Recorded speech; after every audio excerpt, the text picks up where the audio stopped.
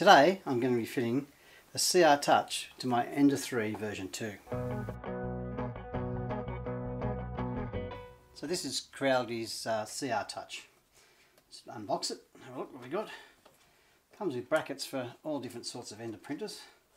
I've got the Ender 3 V2 so I'll just be using one of the brackets. What's in there? There we go. We have the three different brackets and the CR Touch itself. What else is in the box? cable, some screws, ah, and some instructions. That should do us. We'll get back to them if we need them. So I'm pretty sure I'm going to need this bracket for the touch, for the CR touch on the Ender 3V2. That's got right right there. So that's good. I'll start pulling this apart. Reach here. Take the fan cover off first.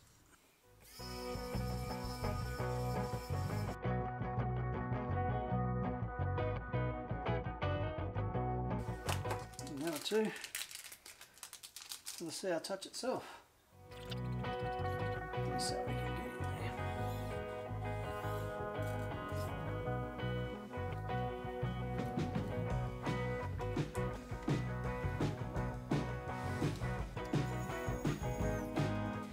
Okay, that's that. That's that bit done.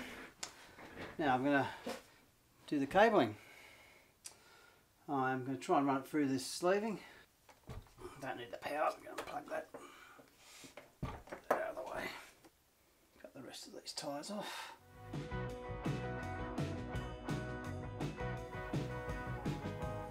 I'm going to actually take my spool holder off just to give me a bit more room to work I like the side mounted holder, just printed it off Thingiverse. I'll put the link in the description.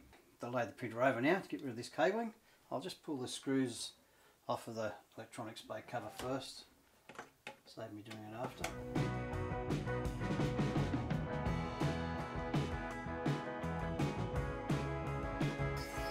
You saw my last video, this is a recent mod I've done. Update the fans for the main board and fitted a buck converter to adapt the voltage to 12 volts for the fan. So you can see that all in there, the buck converter and the, the 80mm fan instead of the little 40mm they have. Okay, this is our CR touch cable. Going to feed the small end through that tube. Let's see how we go. Get some kinks out of it first. I'll have to update the firmware to the BL Touch firmware. I'll show you in the video how to do that. Running Jyers firmware on this, much prefer it to the original and Creality version. A lot more features enabled and seems to be more stable.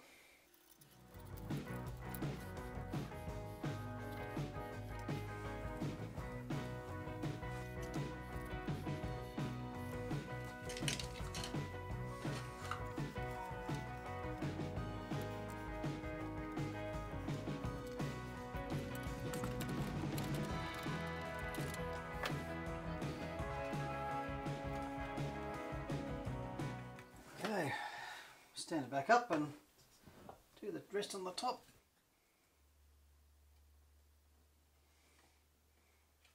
Okay, now we're back the right way up. We'll put the CR touch in. And there we go. Now we just have to update the firmware, cable tie a few things up. Yeah, I'm using Jyers firmware and that's available on GitHub and I'll give you the um, link in the description. I'm using the 5x5 mesh, but you can use the 3x3 if you want it to be a little quicker. Just need to download it and then copy it over to an SD card. To a freshly formatted SD card is the best way. And then that's it. Then eject that disk and we'll move back to the printer to install the firmware. So we take our SD card, slip it in, and away we go. Okay, make sure you do this with the power off. Insert the SD card and then power the printer on and the firmware will install. Once the SD card's inserted, we power on and watch the uh, display. and it'll just take a few seconds to update.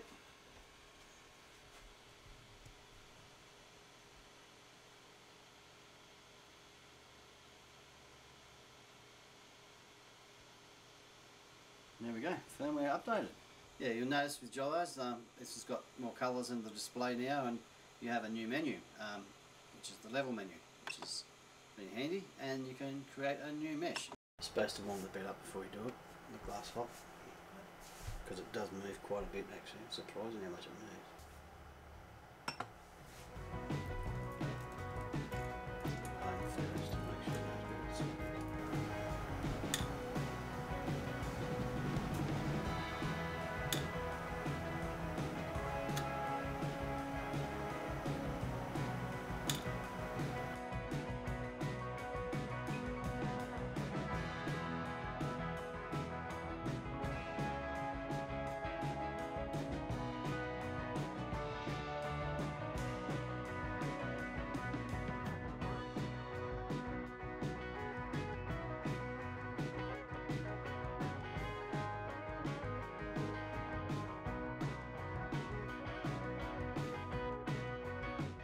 We've got all that done. I just last thing I need to do before we can print is adjust the Z offset. So go to the prepare menu, down to Z offset. I do live adjustment. It's going to do a quick home. Okay, let's move to the centre of the bed. Okay, so need the paper trick, so we need to put a piece of paper in there. Okay, so I can adjust it here slowly if I want to, or I can just do up micro steps up or down. It's got to go down. Okay, and I'm starting to feel some drag there. Got plenty of free movement there. Micro step down, getting tighter. I can start to feel it there. 0.13 is about perfect for me. Just the drag, just to feel the drag on the paper. To go down to save and save. That's it, done get out of here, set up a print. Thanks for joining us today.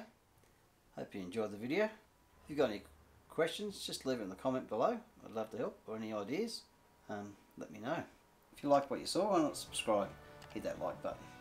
I'm Phil, and this is Phil Talks Tech.